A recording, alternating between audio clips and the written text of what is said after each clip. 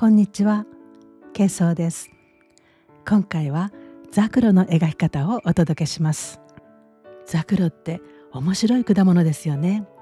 色も形も独特だし、なんといってもばっくり割れて中からルビーのように美しい種が出てくるなんて、本当に絵心をそそられますね。今回の絵手紙でもばっくり割れたところを描いてみました。最後までゆっくりご覧くださいね。使う絵の具は吉祥の岩彩24色中10色です。筆は面相筆削用筆。筆ペンを使いました。はがきは画線紙にじみの少ないものを使います。まず面相筆で黒を取り絵皿の縁で筆先を整えます。手前の実から描いていきますよ。先端は山形の突起が出ています。これは額が変形したものなんだそうです。次は真ん中からばっくり割れているところですね。ここの線は少しゆらゆら変化を持たせるとリアルに見えます。外側の輪郭線は綺麗な曲線で中の線はゆらゆらと描いていきます。ザクロの皮は厚いので少し薄い線でこの厚みを表現していきます。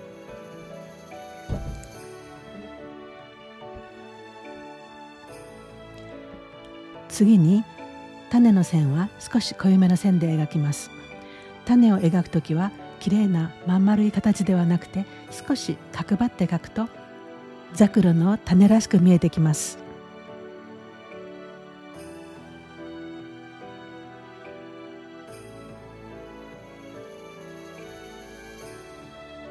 次に上から降りてきた枝を描きます。この枝はまっすぐではなくて少し湾曲させると絵としては面白くなります。後ろの方にももう一つ横向いたザクロを描いておきましょう。先端には突起を描いておいてくださいね。削用筆に持ち替えてザクロの色を作っていきます。まず5分を絵皿に取ったら縁についている黒を少量混ぜて上司をほんの少しだけ混ぜます。そして最後に線香機を少しだけ入れてこのような落ち着いた色を作りました。この色で右側の可否をざっくり塗っていきます。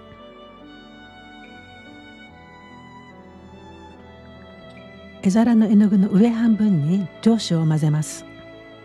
この色で可否の二度塗りをしていきます。途中まで塗ったら削用筆に水をつけて周囲になじませます。続いて薄い色の方で反対側の可否を塗っていきます。絵の具が濡れているうちに上司を重ねます。続いて新車を取りさらにその上から色を重ねていきます。色を重ねる作業は下の絵の具が濡れているうちに行うときれいになじみます。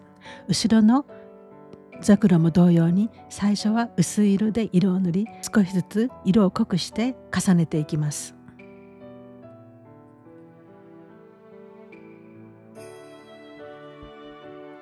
きれいに洗った削用筆で5分を取り絵皿のオレンジと混ぜたら可否を塗ります。続いて5分と勾配を絵皿で混色してきれいなピンク色を作ります。この色でザクロの種を一粒ずつ塗っていきます。種を塗るときは上からざーっと塗らないでくださいね。一粒ずつ塗ります。そうしてこの輪郭線を残すようにします。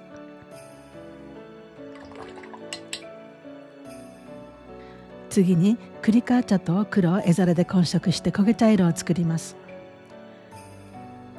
この色でザクロの実に斑点を入れていきます。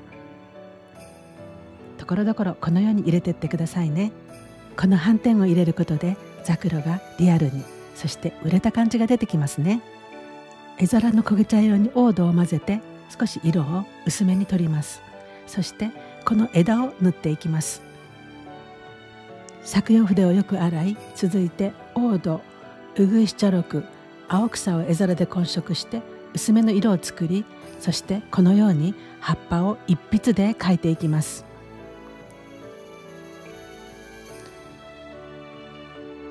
上と下にも描いていきましょう。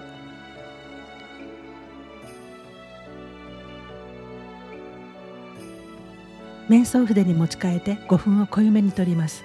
そして種の一粒ずつにこのように5分を入れてってください。全体を塗るのではなく中心にこのように色をさしていきます。これは光を表しているんですよ。筆に残った5分を使ってこのように可否の部分にも少し色を足します。クリカー茶を絵皿の焦げ茶と混色したらこのようにザクロの影の部分を入れていきます。そして種の間の影も入れていきましょ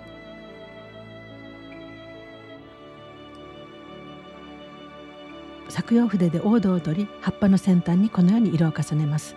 続いて青草を取り同じように色を重ねます。面相筆に黒を取り葉っぱに葉脈を入れていきます。